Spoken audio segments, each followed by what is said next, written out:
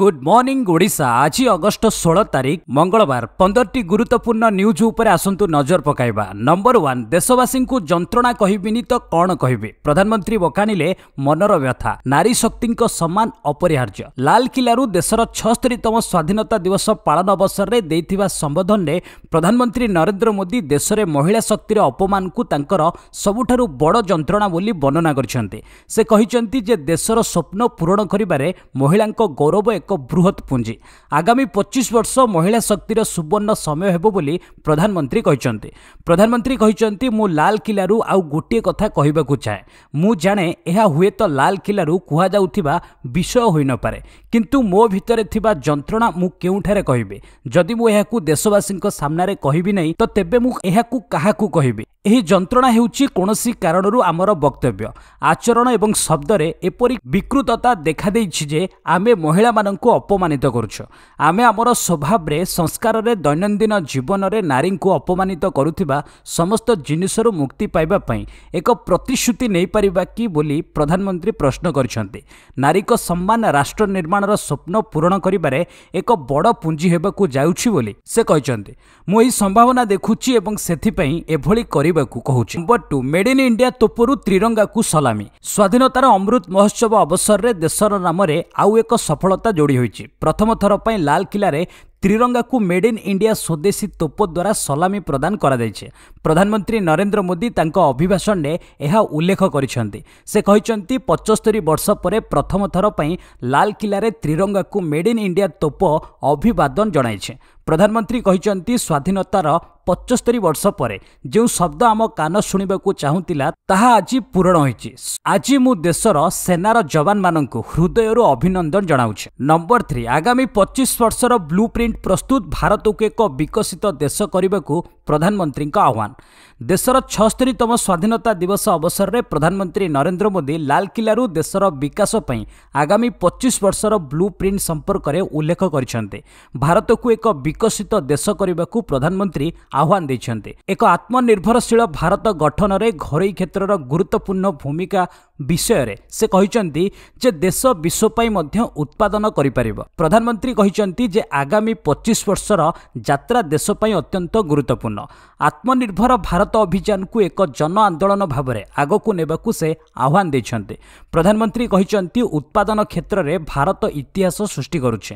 ମହାକାଶଠାରୁ ଆରମ୍ଭ କରି ଡ୍ରୋନ୍ ଉତ୍ପାଦନ ପର୍ଯ୍ୟନ୍ତ ବିଭିନ୍ନ କ୍ଷେତ୍ରରେ ଉତ୍ପାଦନ ଆଧାରିତ ପ୍ରୋତ୍ସାହନ ଯୋଜନା ସହିତ ଆମେ ଦୁନିଆର ଏକ ପ୍ରମୁଖ ଉତ୍ପାଦନ କେନ୍ଦ୍ରରେ ପରିଣତ ହେଉଛୁ। ପ୍ରାକୃତିକ ଚାଷ ଉପରେ ଗୁରୁତ୍ୱ ଦେଇ ପ୍ରଧାନମନ୍ତ୍ରୀ କହିଛନ୍ତି ଯେ ଏହା ଭାରତକୁ ନୂତନ ଶକ୍ତି ଦେବ ଏବଂ ସବୁଜ ନିଯୁକ୍ତି ସୃଷ୍ଟି ସହିତ ଏ କ୍ଷେତ୍ରରେ ବହୁ ନିଯୁକ୍ତି ସୁଯୋଗ ସୃଷ୍ଟି ହେବ। ପ୍ରଧାନମନ୍ତ୍ରୀ କହିଛନ୍ତି ସେମି କଣ୍ଡକ୍ଟର ପାଞ୍ଚ ଜି ଏବଂ ଅପ୍ଟିକାଲ ଫାଇବର ଉତ୍ପାଦନ ଶିକ୍ଷା ସ୍ୱାସ୍ଥ୍ୟ ପାଇଁ ଦେଶରେ ବିକାଶର ନୂତନ ଉତ୍ସାହଧାରା ଜାରି ରହିଛି। ଏସବୁ ସାଧାରଣ ଲୋକଙ୍କ ଜୀବନରେ ଏକ ବଡ଼ ପରିବର୍ତ୍ତନ ଆଣିଛି।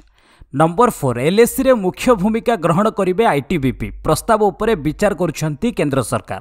ପୂର୍ବ ଲଦାଖରେ ଭାରତ ଏବଂ ଚାଇନା ମଧ୍ୟରେ ଉତ୍ତେଜନା ବଢ଼ିବାରେ ଲାଗିଛି। ଏପରି ସ୍ଥଳରେ ଭାରତ ତିବ୍ବତୀୟ ସୀମା ପୁଲିସ ଆଇଟିବିପିର କାର୍ଯ୍ୟକଳାପ ବୃଦ୍ଧି କରିବାକୁ ଏକ ପ୍ରସ୍ତୁତି ଚାଲିଛି। କେନ୍ଦ୍ର ସରକାର ଏହି ପ୍ରସ୍ତାବ ଉପରେ ବିଚାର କରୁଛନ୍ତି। ଯେଉଁଥିରେ ଏଲ୍ଏସିରେ ଆଇଟିବିପିକୁ ମୁଖ୍ୟ ଭୂମିକା ଦେବାକୁ କୁହାଯାଇଛି।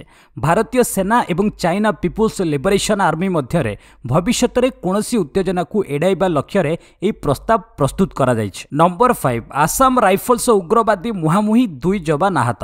ସୋମବାର ସକାଳେ ନାଗାଲାଣ୍ଡର ମୋନ୍ ଜିଲ୍ଲାରେ ସନ୍ଦିଗ୍ଧ ଏନ୍ଏସ୍ସିଏନ୍ କେୱାଇଏ ଉଗ୍ରବାଦୀଙ୍କ ସହ ଆସାମ ରାଇଫଲ୍ସ ଯବାନ ମୁହାଁମୁହିଁ ହୋଇଛନ୍ତି ଏଥିରେ ଆସାମ ରାଇଫଲ୍ସର ଦୁଇ ଜଣ ଯବାନ ଆହତ ହୋଇଛନ୍ତି ଆହତ ଯବାନଙ୍କୁ ଚିକିତ୍ସା ପାଇଁ ଜୋରହାଟ ବାୟୁସେନା ଡାକ୍ତରଖାନାରେ ଭର୍ତ୍ତି କରାଯାଇଛି ଆସାମ ରାଇଫଲ୍ସ ଏକ ବିବୃତ୍ତିରେ କହିଛି ଯେ ଏହି ଏନ୍କାଉଣ୍ଟରରେ କିଛି ଆତଙ୍କବାଦୀଙ୍କ ମୃତ୍ୟୁ ହେବାର ଅନୁମାନ କରାଯାଉଛି ସର୍ଚ୍ଚ ଅପରେସନ ଏବେ ବି ମଧ୍ୟ ଜାରି ରହିଛି ନମ୍ବର ସିକ୍ସ ସୀମା ଡେଇଁଲା ଚାଇନା ଯୁଦ୍ଧ ବିମାନ ଚାଇନାର ଏଗାରଟି ମିଲିଟାରୀ ଏୟାରକ୍ରାଫ୍ଟ ରବିବାର ତାଇୱାନ ପ୍ରଣାଳୀର ମଧ୍ୟରେଖା ଅତିକ୍ରମ କରିছে ଏହି ଯୁଦ୍ଧ ବିମାନଗୁଡ଼ିକ ତାଇୱାନର ଏୟାର ଡିଫେନ୍ସ ଜୋନ୍ ଅତିକ୍ରମ କରିଥିବା ତାଇପେଇ ପକ୍ଷରୁ ଅଭିଯୋଗ ଅଣାଯାଇଛି।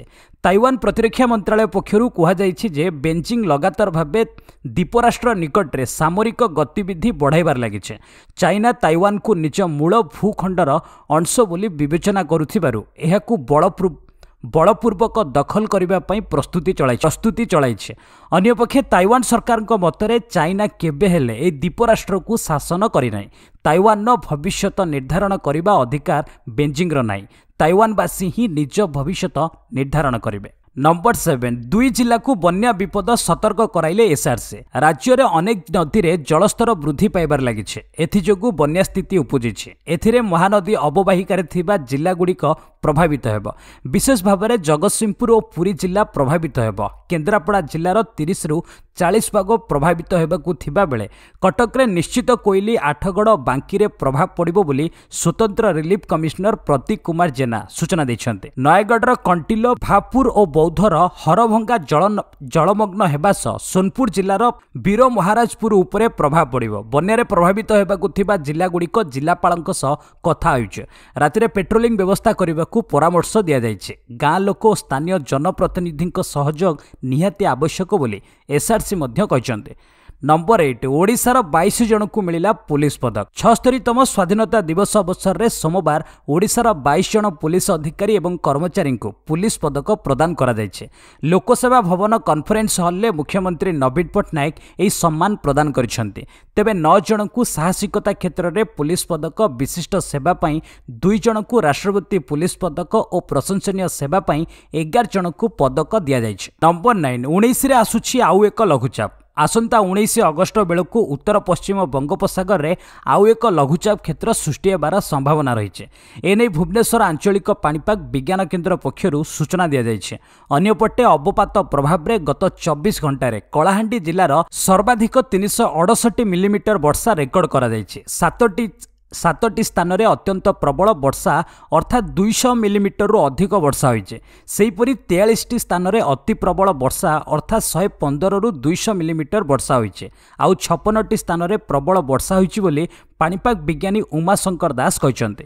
ନମ୍ବର ଟେନ୍ ଶ୍ରୀଲଙ୍କା ନୌସେନାକୁ ଡୋନିୟର ବିମାନ ଉପହାର ଦେଲା ଭାରତ ଶ୍ରୀଲଙ୍କା ନୌସେନା ନିମନ୍ତେ ଏକ ଡୋନିୟର ବିମାନ ପ୍ରଦାନ କରିଛି ଭାରତ ଏହାଦ୍ୱାରା ଭାରତ ମହାସାଗରରେ ଶ୍ରୀଲଙ୍କା ନୌସେନାର ପର୍ଯ୍ୟବେକ୍ଷଣ କ୍ଷମତା ବୃଦ୍ଧି ପାଇବ ଦୁଇ ଦେଶ ମଧ୍ୟରେ ପ୍ରତିରକ୍ଷା ସହଯୋଗକୁ ବୃଦ୍ଧି କରିବାକୁ ଏହି ବିମାନ ପ୍ରଦାନ କରାଯାଇଛି ବୋଲି ଭାରତ ପକ୍ଷରୁ କୁହାଯାଇଛି କଲମ୍ବୋ ଏୟାରପୋର୍ଟ ନିକଟସ୍ଥ କାଟୁନାଏକେଠାରେ ଥିବା ଶ୍ରୀଲଙ୍କା ବାୟୁସେନା ଘାଟିଠାରେ ଅନୁଷ୍ଠିତ ଏକ ସମାରୋହରେ ଭାରତୀୟ ନୌସେନାର ଉପମୁଖ୍ୟ vice admiral SN Ghormade Sri Lanka ନୌସେନାକୁ ଏହି ବିମାନ ହସ୍ତାନ୍ତର କରିଛନ୍ତି।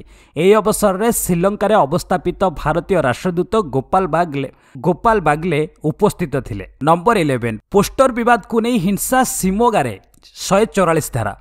କର୍ଣ୍ଣାଟକ ଶିମୋଗାରେ ପୋଷ୍ଟର ହଟାଇବାକୁ ନେଇ ସୋମବାର ହିଂସାକାଣ୍ଡ ଘଟିଛି। ଏନେଇ ଅଞ୍ଚଳରେ ଉତ୍ତେଜନା ପରିସ୍ଥିତି ସୃଷ୍ଟି ହୋଇଛି। ପରିସ୍ଥିତିକୁ ଦୃଷ୍ଟିରେ ରଖି ପ୍ରଶାସନ ପକ୍ଷରୁ ସ୍ଥାନୀୟ ଅଞ୍ଚଳରେ ଶହେ ଚଉରାଳିଶ ଧାରା ଲାଗୁ କରାଯିବା ସହ ପୁଲିସ ଫୋର୍ସ ମୁତୟନ କରାଯାଇଛି। ସୂଚନାଯୋଗ୍ୟ ସ୍ୱାଧୀନତା ଦିବସ ଅବସରରେ କିଛି ଯୁବକ ଲାଗିଥିବା ବୀର ସାବରକରଙ୍କ ପୋଷ୍ଟରକୁ ହଟାଇ ଟିପୁ ସୁଲତାନଙ୍କ ପୋଷ୍ଟର ଲଗାଇବାକୁ ଚେଷ୍ଟା କରିଥିଲେ। ଏନେଇ ଅନ୍ୟ ଏକ ଗୋଷ୍ଠୀ ଏହାକୁ ବିରୋଧ କରିବା ଫଳରେ ଉକ୍ତ ଅଞ୍ଚଳରେ ଉତ୍ତେଜନା ଦେଖାଦେଇଥିଲା। ଏପରିକି ପରିସ୍ଥିତିକୁ ନିୟନ୍ତ୍ରଣ କରିବାକୁ ଯାଇ ପୋଲିସ ଲାଠିଚାର୍ଜ କରିଥିବା ଜଣାପଡ଼ିଛି।